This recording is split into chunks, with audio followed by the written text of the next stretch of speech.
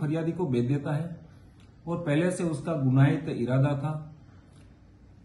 फ़िलहाल दो आरोपियों को अरेस्ट कर लिया गया है। इसमें गौरव सलूजा और मधुसूदन और उसका चौदह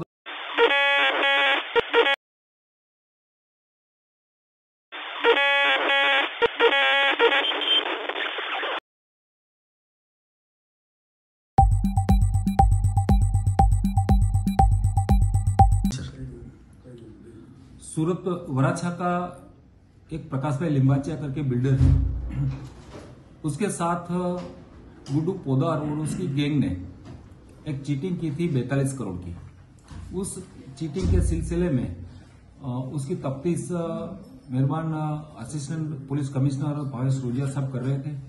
इन दौरान ये गुना बनता है, वो प्राइमरी इंक्वायरी के बाद फलित हुआ।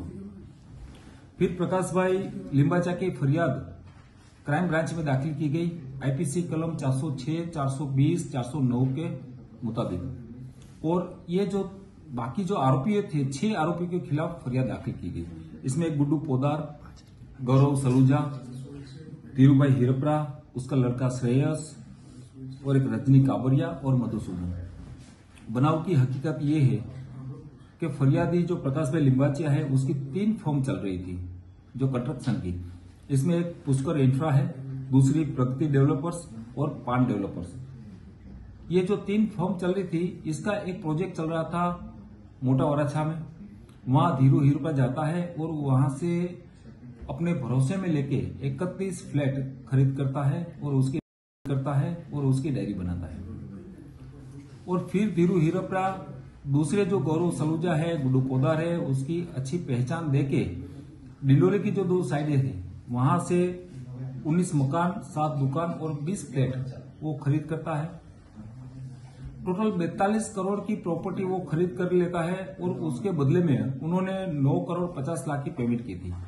तो 32 करोड़ जो पेमेंट थी वो नहीं दे रहा था फरियादी बार बार उसके पास उघराने के लिए ट्राई कर रहा था इन दौरान ये जो फरियादी, ये आरोपी है गुड्डू पोदार, वो अपनी एक महुआ तालुके की कानी गाँव की जो जगह थी फोर्टी एट एकर्स बीघा जो जगह थी, वो जगह उसकी नहीं थी, फिर भी ये फरियादी को बेच देता है और पहले से उसका गुनाहित इरादा था। फ़िलहाल दो आरोपियों को अरेस्ट कर लिया गया है, इसमें गौरव सलूजा और मधुसूदन, और उसका चौदह तारीख का रिमांड। लिया गया है। बाकी की तफ्तीश जारी है।